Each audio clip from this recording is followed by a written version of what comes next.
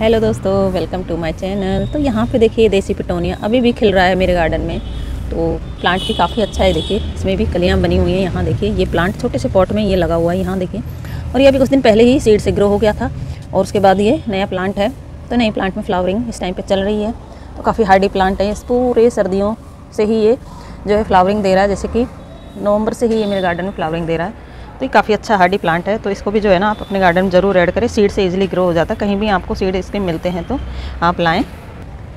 आज मैं ऐसा प्लांट दिखाने वाली हूँ मेरे गार्डन का, जो अपने आप ही ग्रो हो गया गार्डन में और इतना सुंदर प्लांट है और वो एक हैंगिंग प्लांट कह सकते हैं आपको, आप उसको तो वो हैंगिंग प्लांट में आप लगा सकते हैं, काफ़ी सुंदर प्लांट है। तो तो उसके आगे जो है महँगे पौधे भी फेल हैं इतने महँगे महँगे पौधे हम लाते हैं हैंगिंग प्लांट लाते हैं तो काफ़ी कॉस्टली आते हैं वो प्लांट और कभी कभी क्या है, घर में लाते ही मतलब हमारे गार्डन में लाते ही ख़राब भी हो जाते हैं। तो वो प्लांट जो है ना, बहुत हार्डी है, अपने आप से ग्रो होता है और बहुत ही सुंदर लगता है। तो वही मैं आप आज दिखाऊँगी मेरे। तो ये देखिए, ये है वो प्लांट तो बहुत ही सुंदर प्लांट है ये, आप देख सकते हैं। तो ये देखिए किस तरह से ये हैंग हो रखा है, इस तरह से मैंने डी आई पॉट में ये लगाया हुआ है। मैंने तो नहीं लगाया, लेकिन अपने आप ये ग्रो हो गया है इसमें। और उसके बाद देखिए किस तरह से ये नीचे की तरफ़ हैंग हो रहा है और इसमें छोटे छोटे फ्लावर भी खिलते हैं। ये देखिए बहुत ही छोटे छोटे और बहुत सुंदर लगते हैं। इस पर छोटे छोटे फूल जो है ना, इस तरह से लगते हैं येलो कलर के। और बहुत ही प्यारा है इसकी पत्तियाँ भी, जैसे पर्सलेन प्लांट होता है ना हमारा, उसी तरह इसकी पत्तियाँ का शेप है। और उसी की तरह ये एक सकुलेंट फैमिली से ही बिलोंग करता है। तो बहुत ही हार्डी प्लांट है ये। और इसको जो है ना, कुछ लोग, मैंने बहुत पहले भी एक वीडियो इसका डाला था। तो काफ़ी पसंद किया उस वीडियो को लोगों ने। तो कुछ लोगों ने उसमें कमेंट करके बताया कि ये एक वेजिटेबल है, कुल्फा बोलते हैं इसको। लेकिन मैंने देखा है कुल्फा प्लांट जो है ना तो वो अलग होता है, उसकी पत्तियाँ बहुत बड़ी बड़ी होती हैं और उस जो है मैंने वो सब्ज़ी वालों के पास ही देखा जैसे हम सब्ज़ी लेने जाते हैं वहाँ पर हरी सब्ज़ी जिन पर मिलती है ना, उन पर देखना आप। तो वहीं वहीं पर मैंने देखा था। तो वो जो है अलग होता है मतलब सेब तो यही होती है पत्तियों की, वो थोड़ा वाइटनेस होता है उसमें पत्तियों में और पत्तियाँ भी काफ़ी बड़ी बड़ी होती हैं उसकी। तो हो सकता है कि वैरायटी का फ़र्क हो, जैसे कि ये देसी वैरायटी हो और वो जो मैंने उनके पास देखा है, वो हाइब्रिड हो। तो इस तरह का फ़र्क हो सकता है। लेकिन आप लोग बताएँ कि ये सही नाम है क्या इसका? जो है काफ़ी लोगों ने उस टाइम पे कुल्फ़ा ही बताया था। तो ये एक वेजिटेबल प्लांट है वैसे तो। मैं भी इसकी सब्ज़ी बनाती हूँ। तो ग्रीन सब्जियों में इसका मैं यूज़ करती हूँ। काफ़ी अच्छी होती है हेल्दी होती है होने को तो। पर बस मुझे इसका नाम नहीं पता। और जो है इसको आप खा भी सकते हैं या फिर आप एक प्लांट के तौर पर आप इसको अपने गार्डन में लगा सकते हैं। जैसे कि फ्लावरिंग प्लांट के तौर पर या हैंगिंग प्लांट के तौर पर तो देखिए, आप कितना खूबसूरत लग रहा है इस तरह से जब ये हैंग हो रहा है और बिल्कुल ग्रीन है ये।